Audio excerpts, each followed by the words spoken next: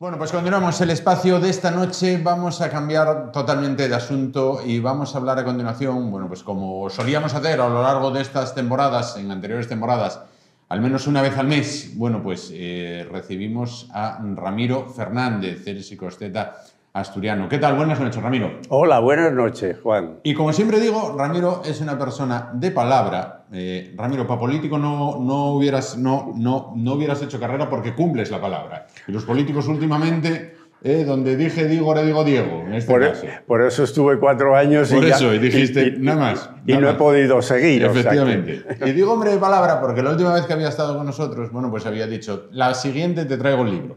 Bueno, pues aquí lo tenemos, que se llama La entrañable historia de un gran oficio, la barbería Museo de toda Navidad, del psicosteta asturiano Ramiro Fernández, editado por Ediciones Nobel. Eh, vamos a hablar, como no, de este libro.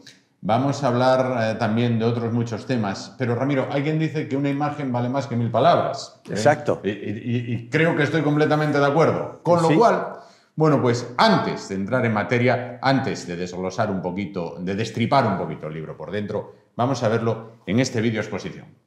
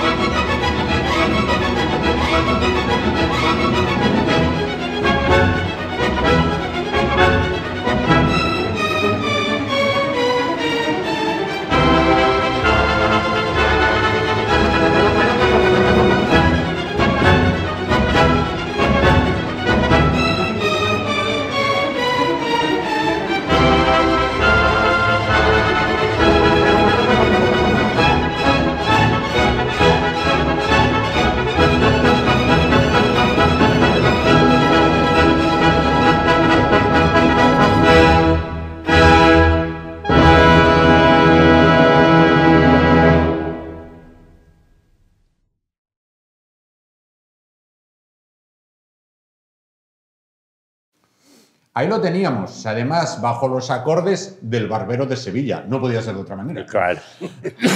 una época, una, una, época no, una ópera que durante estos días, bueno, pues además se está representando en el Campo Moro Betense. Bueno, más allá de lo que hemos visto en el vídeo, que por cierto está muy bien, eh, ¿qué nos encontramos en el libro, Ramiro? Vamos a ver. Bueno, en el libro es esta, digamos, entrañable colección que tengo de eh, cosas antiguas de barbería, ¿no? que tengo piezas pues desde el siglo XVII. Piezas, sí, que me fui haciendo, eso me sirvió mucho mis 28 años largos con la selección, uh, donde tengo cinco mundiales y seis Eurocopas, viajando por todo el mundo. Entonces, mientras que eh, al país que íbamos y a la uh, ciudad concreta, Uh, mientras que los jugadores entrenaban esos tres horas y media, uh, yo lo que, lo que hacía era, uh, ya llevaba una lista de sí. los anticuarios que había en esa ciudad y claro, me fui haciendo con, con, con infinidad de, de, sí, de utensilios. De, de, la, de la barbería, de todo tipo, ¿no? Y por eso creo que hoy tengo una colección eh, bueno, pues eh, estupenda y, claro.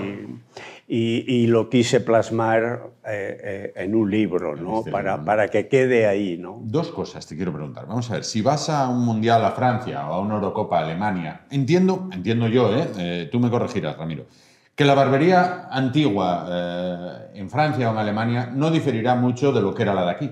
Pero si vas a Corea, como fuiste al Mundial, ¿la barbería allí difiere mucho de la de aquí? No, no, no difiere tampoco. Lo que sucede es que hay una serie de aparatología quizás un poco distinta a la que puede haber eh, en Europa, ¿no? De una manera tal, ¿no? Entonces, eh, pero por eso tengo cosas eh, curiosas que también pues me hice, me hice con ellas, ¿no? Y, y, yo me quedaba asombrado de ver la, la, la, la cantidad de, de utensilios que usaban muy parecidos pero no iguales de tal. Por eso eh, mi colección es tan, tan variada, ¿no? Claro, pudimos verla hace tiempo en una exposición, en una muestra en Trascorrales, y más recientemente en la Feria Internacional eh, de Muestras de Asturias. Sí. Además, oye, pues dices, bueno, a priori puedes pensar, bueno, esto irán los que son peluqueros, porque bueno, son.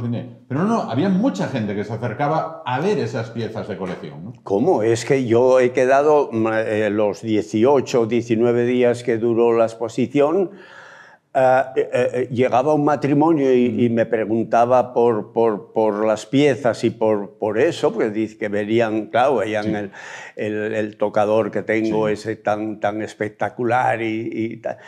Y, es que en medio minuto, Juan, en medio minuto ah, había 30 personas escuchando las explicaciones que yo, que yo daba. O sea, que fue un éxito en ese sentido extraordinario. ¿no? De que...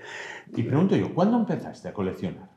Bueno, yo, yo, creo que ya empecé cuando en el año 59, eh, eh, con, con, la barbería en el Musel, Ya, ya, se tenían esos sillones antiguos y, y, todo lo de afeitar y, hasta la caja de limpiabotas eh, que, que, también he recopilado pues, pues ya empecé yo a, dar menuda bronca eh, que recibí de mi madre porque eran aquellos años donde eh, todo el mundo se quería deshacer de las cosas antiguas.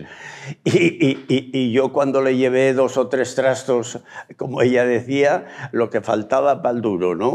Pero ahora, bueno, ahora no meto esto, ¿no? Exacto, ah. pero, pero fíjate, ya fue en 1959, cuando ya, no sé, ¿por qué? Me, es que yo veía los, los, los, utensilios que se usaban en la barbería, eh, eh, como vi luego el cambio tan extraordinario que hubo de, de, de claro, de la evolución, pues, pues yo dije, oye, esto no lo tiro, porque claro, lo más fácil era tirarlo.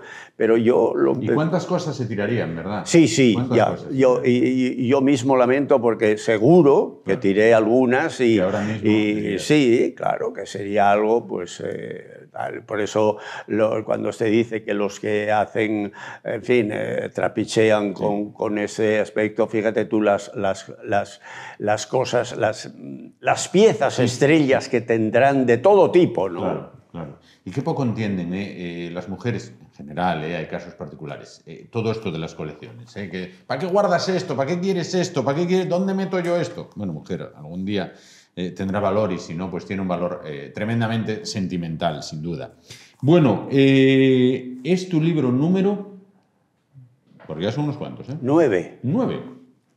Número nueve. Noveno libro. Y al igual que los ocho anteriores, lo que se recaude de la venta de los mismos tiene un fin benéfico. Ah, sí, sí, sí. No se trata de hacer negocio con la. No, no, no, no, no, no. Yo no vivo de vender libros, mm. nada. Todo va íntegramente para fines benéficos. Mm. 2.500 libros que me pidió el padre Ángel mm. de lo del fútbol ah, ah, fue íntegramente para, para Madrid y, el corte inglés lo, lo, lo lo, vamos, los vendieron y lo recaudó todo, eh, digamos, eh, como era, mensajeros de la paz. ¿no?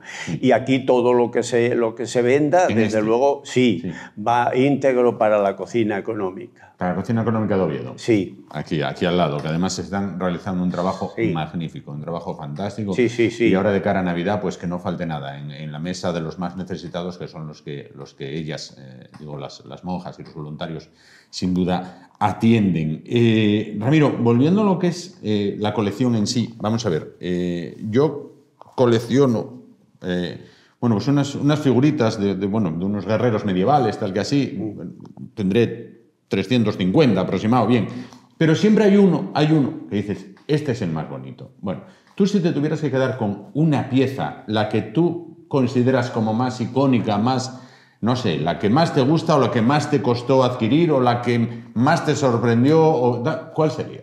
Juan, esto es como si le preguntas a un padre que tiene varios hijos y ¿cuál es el hijo que más quieres? Eh, va, a decir, pues yo quiero a todos, a, todos, ¿no? Entonces, es lógico, hay alguna pieza determinada, como tengo las primeras, las tenacillas del pleno siglo XVII, mm. esas tenacillas que se usaban, que todavía los lores en, sí, sí, en Inglaterra eh, siguen usando para esos actos protocolarios, bueno, para, para, hacer esas pelucas eh, con esos tirabuzones de tal. Bueno, pues eh, no es nada fácil encontrarlas y la verdad, pues bueno, me hice con ellas. tengo, la, por ejemplo, la, bigotera de, de, Dalí, de, de, los bigotes de Dalí, de, esa tenacilla, sí, sí, que se usaba, que no es nada fácil hacerse con ella. Ah, bueno, pues... Ah, o sea, entonces esos bigotes así para arriba que llevaban los, los señores antes, bueno, y, Dalí hace menos, pero, por ejemplo, te, comento porque ahí, había una foto en casa de, de mi abuelo, del padre de mi abuelo, con unos bigotes así. Sí, sí. o sea, eso se hacía con un aparato. Con una. Está ahí la fotografía preciosa. Ah, luego la miro. En el libro, sí, de. claro, eh, se calentaba ah. lo justo, había que ser. Eh, por, eso, eh, por eso el, oficio de, barbero ya era. No eran chapuceros, sino que eran ya verdaderos artistas.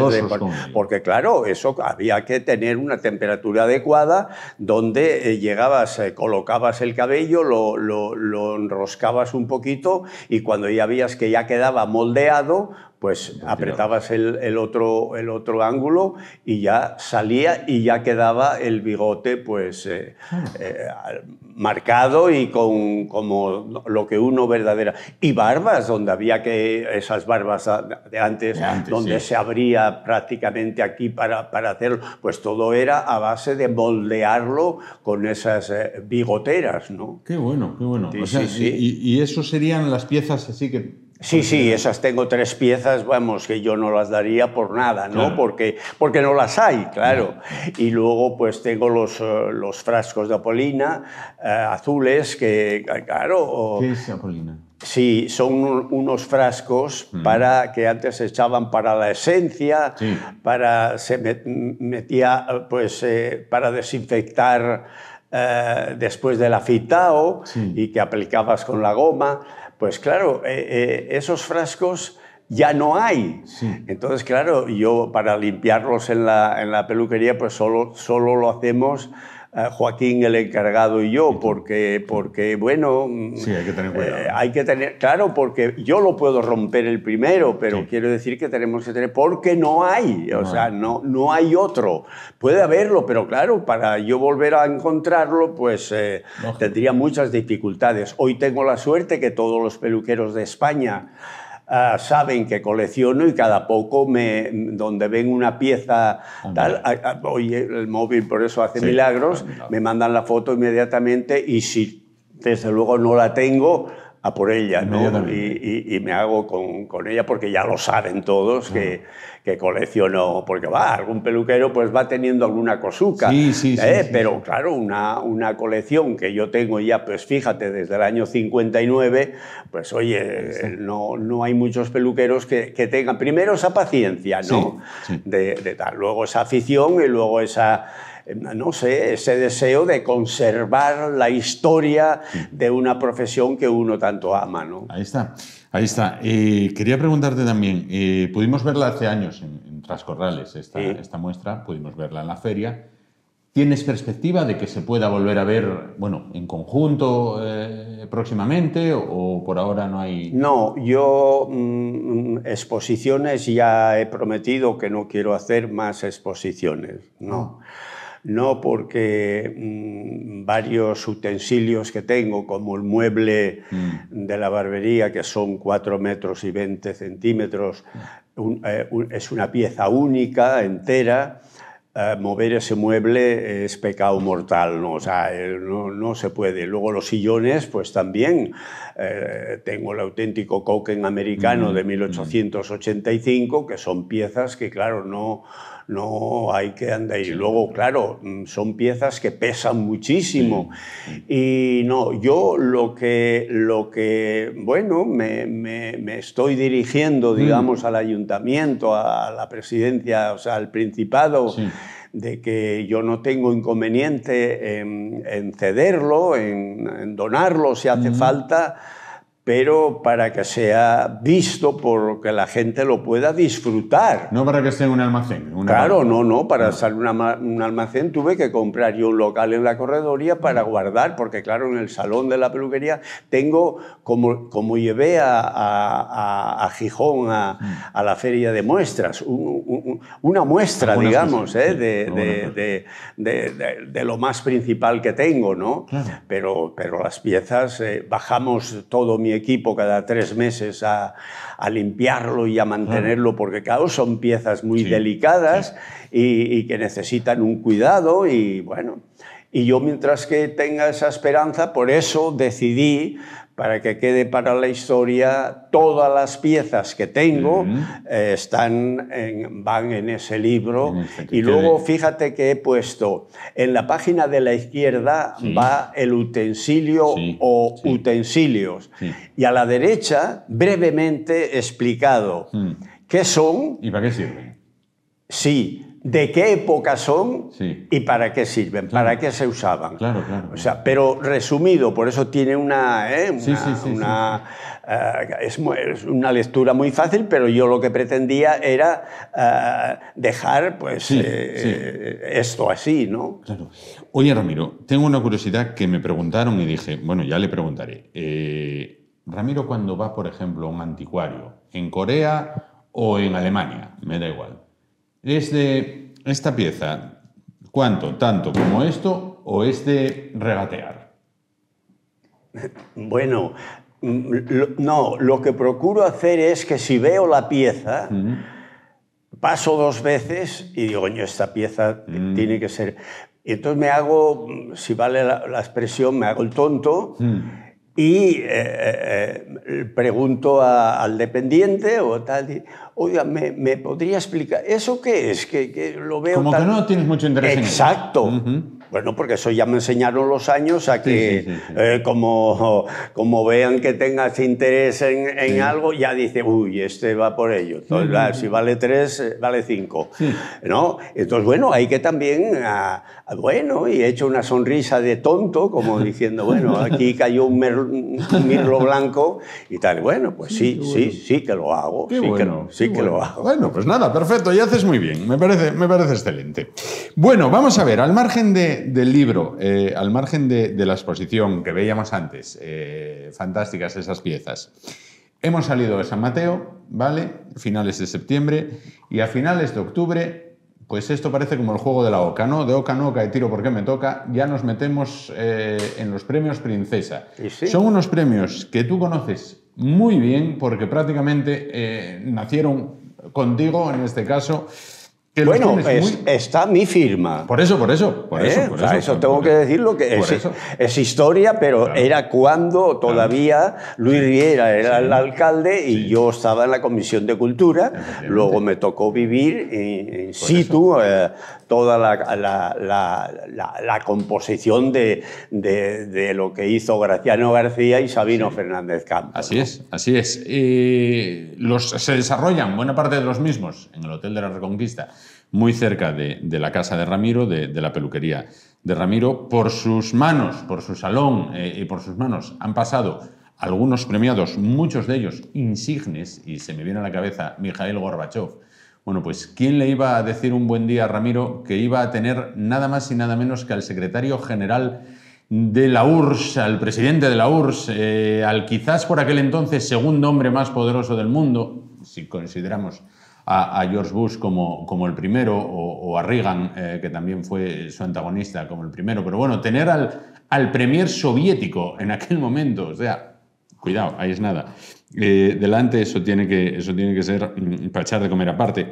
Eh, Ramiro, eh, te lo pregunto todos los años, pero es que tengo que preguntártelo. ¿Somos conscientes, de algún modo, de la importancia que estos premios tienen para Oviedo, para Asturias? Yo creo que ahora sí. Sí. Ahora sí. Mm. Ahora ya donde siempre había esas polémicas de mm. qué tal. No. Que volverá a verlas, ¿eh? Bueno, sí, pero seguro, ya, ya, cada vez son más minoría porque se mm. van dando cuenta de que es tirar piedras contra, contra tu propio tejado, ¿no? Entonces, hoy los premios eh, eh, Princesa de Asturias hay que tener en cuenta que, que, estamos en el mundo durante una semana, no durante una semana, casi durante todo el año, porque cuando se va reuniendo el jurado, la noticia trasciende a, a, todo el mundo, ¿no? Y entonces creo que esto es algo que deberíamos de todo el mundo, ¿eh? Mm. arropar y como, como todas las personas que, llegan para los premios, eh, ya sabes, la gente de, Asturias es muy acogedora mm. y, especialmente tengo que decir que la de Oviedo, ¿no? Eh, entusiasta, colabora y, creo que eh, esto hace posible que, que, se engrandezca cada vez más eh, los premios Princesa de Asturias. Claro. ¿Qué recuerdo guardaste en los mismos? Porque decíamos, empezaste con ellos cuando estaban en pañales, cuando me contaste en una ocasión Ahora no hay entradas en el Campo Amor. Quiero decir, eh, no, no, es que se trate de una película o, de una obra de teatro y hay entradas, ¿no? Pero ahora mismo sería imposible. La, Fundación, año tras año, pues tiene que rechazar cientos de peticiones de personas que quieren ir al Campo Amor a presenciar in situ. bueno, pues esa ceremonia. Cuando empezó, no, Ramiro, cuando empezó había como tocar de corneta para, oye, a ver si me echas una No, tocar la corneta no, es que fue así, para, para que, hubiese eh, en la butaca de patio, que hubiese la mitad, ¿eh? Todos nos han pedido que, que, que, que, lo dijésemos a la familia, a los amigos, para, para, para el primer acto, o sea, la primera tal. ¿eh? Y, y, yo ahora que lo estoy viendo de esta manera, digo, madre mía, cómo ha nacido, digamos, eh, nacieron estos premios y, y, y, cómo ahora, cuando, no sé si oí el año pasado, que había 6.000 personas que se quedaban sin, sin, o sea, 6.000 peticiones para, para, para, venir a, a, eso, ¿no? Y, y, y, claro, yo lo recuerdo porque lo he vivido. Para, para mediar, digamos, la butaca de patio, tuvimos que eh, mover, eh, como tú dices, a toque de corneta, eh, éramos concejales y nos decía el alcalde, oye, hay que avisar a tal y todo, todo para, para, y, claro, era, bueno, era una novedad, pero bueno, no, no, no, no le dábamos la trascendencia que tiene. La trascendencia que, que, que, está. Yo soy el primero que cuando me, me siento poder verlos en directo o yo digo, pero sea posible, fíjate tú ¿Cómo que esto, esto ¿no? claro, lo he vivido con, o sea, que fue unas, eh, sin duda. Por eso soy ya Juan, que te digo muchas veces lo afortunado que soy, mm, eh, porque lo soy. No, no, y te creo, y te creo, te creo eh, perfectamente. Me lo contaste en una ocasión, pero creo que merece la pena volver a ser contado. Vamos a ver, ¿cómo es ese momento en el que te dicen, oye, Va a venir el presidente de la URSS, de la Unión de Repúblicas Socialistas Soviéticas, aquí a, tu casa a atenderlo. Bueno, pues eh, entiendo que eh, cuando yo trabajaba en otra empresa y se entrevistaba al que era por entonces presidente del Principado, eh, Vicente Álvarez Areces, que en paz descanse, bueno, pues diez minutos antes de que él llegara, uno de sus escoltas llegaba, recorría las instalaciones, miraba el baño, abría la puerta del baño, tal, no sé qué eh, a ver, Gorbachev vendría con la todopoderosa y siniestra KGB. No sé si entraron antes en tu local o no, o qué. No, bueno, he, de aclarar que algunos de los personajes que citaste no han sido premio Príncipe de Asturias, sino que creo que la Nueva España hacía unas conferencias eh, eh, eh, conjuntamente con la universidad y, y, invitaba a, personajes, por ejemplo Kissinger, que no venía a, recoger Nelson Mandela, Nelson Mandela sí, pero otro. Entonces, Gabino de Lorenzo era el que me, me me, me facilitaba Sí. y Graciano García, Sí. de personajes que a lo mejor de- pues necesitaban, pues eso, lavar la cabeza o, o arreglar la barba o, en fin, afeitarse o tal. Bueno, pues, eh, y entonces, bueno, pues eh, como es- estoy muy cerca del Hotel Reconquista, pues así tuve la, la- la- la inmensa suerte de tener, pues, pues eso, desde Nelson Mandela, Mijael Gorbachov, George Bush padre. ¿Viste eh, a George Bush padre también? Sí, sí, sí, claro, lo he atendido. Un hombre muy serio, muy. Calla, no. Sí, hombre. Yo sabía de Gorbachov, pero George No, Bush no. sí, sí, George Bush, padre. Y hombre, estuvo en el salón y, eh, claro, de ver, por ejemplo, la, la bondad eh, eh, caracterizada de Nelson Mandela a George Bush era mm, para mí más embarado, ¿no? Sí. Pero un hombre que, que, bueno, fue a afeitarse y poner el paño caliente, poner el paño frío. Bueno, él estaba acostumbrado. Afeitaste a George Bush. Sí, sí, sí, claro. Claro, y lavarle la cabeza y, y, hombre, todo. lo- Eso fue. Por eso Como estamos digo- de noche, puedo decirlo, quedo acojonado. No, no, palabra. pero Juan, Sí, pero, sí, sí, sí. pero eso, claro, para mí eh, me han ayudado mucho en este aspecto Graciano García, que, que confiaba en mí, y Gabino de Lorenzo, ¿no? Eh, yo recuerdo, si me permites, la, la vivencia que tuvimos cuando llegó con, con Mijael Gorbachov, pues, eh, eh, claro, Gabino le diría al intérprete que estaba todo pegado con Gabino de nosotros. ruso andaría justo No, también. no, por Sí, eso. andaría- Pero eh, eh, Gabino ya con cierta retranca, pues ya sabes cómo era él. Bueno, pues por lo que veo, me elogió diciendo que tal. Y entonces Mijael le dijo al intérprete, oiga, este peluquero será muy bueno, pero conmigo poco puede hacer porque yo estoy calvo. Y entonces fue cuando yo, oye, cuando me dijo el intérprete eso, Sí. que dice, bueno, mm, dice que con, con él eh, poco puede usted hacer. Sí. Y entonces yo inmediatamente fue cuando le respondí, eh, señor Mijael Gorbachov, ah, mm, usted eh, eh, tiene una calva, o sea, para mí hay calvas que restan imagen y calvas que dan personalidad. Usted tiene una calva con personalidad, que además era verdad, tenía... Sí, sí, sí, tenía aquella mancha. Sí, Sí, una mancha, mancha, aquí. Y bueno, me atrevo a decirlo porque me lo, porque me lo dijo así, Sí. con, con esa sonrisa y Gabino se rieron ahí porque dijo él, eh, este señor, dijo, aparte de, parece ser, ser un gran peluquero, es un buen político. Ahí está, ahí Sí, está. Me, lo, me lo dijo Mijael Qué bueno, Gorbachov. qué bueno, madre mía. Porque madre le respondí sí, eso sí, de, que, de que hay calvas que restan imagen y calvas que dan Que personalidad. dan personalidad. Sí, sí. Buenísimo. Ah, con Bush entiendo que era la cosa más seria. No, era mucho más. No, no, no. Yo, yo creo que apenas hablé. ¿eh? No, no, no, no. ¿eh? La verdad, él eh, se notaba que debía de estar muy agotado, muy cansado. Y no, no, le senté en la butaca y ya casi sentado en la butaca. Ah, sí, hizo la manicura. Sí, sí, sí, sí. Y, y- pero mm, casi con los ojos, o sea, están acostumbrados a, a que el salón de, de un peluquero es para estar relajado Sí, totalmente. Y él, y él, y yo como él no hablaba ni abría los ojos, yo tampoco toqué nada, vamos, Mm. ni, ni, ¿eh? Eh, estaba el intérprete allí, pero, pero si yo no me, yo, yo nada, no hizo falta decir nada porque ya entendí lo que me explicó el intérprete. Pero quiere decir que no, no como Nelson Mandela, que, oye, que antes de sentarse en la butaca, saludó a las seis butacas que tenía yo ocupadas de clientes. Uno a uno fue saludando él. Sí, sí, con la mano haciendo... algo. Y Ramiro, perdona que, que te pregunte estas cosas de, de- de mera curiosidad, pero por ejemplo, cuando atendiste a George Bush, ¿tenías el salón vacío o podías tener más gente allí? Es No, decir, no, llegó, llegaron, lógico, llegan primero dos, bueno, serán policías de paisano. de- de la ¿no? escolta. Sí, entran y me preguntan a mí, oiga, ¿los clientes que usted tiene son mm, clientes de, los conoce usted todos? Los, De o, hay. ¿O hay algún cliente que es nuevo que usted no lo tal? Y claro, yo miré y dije, no, no, son clientes de tal. Y vale, entonces quedaba uno arriba y otro pasaba a la sala de espera. Sí. Pero no, no, en la zona de trabajo ya era yo el, Solamente. digamos, el caporal, ¿no?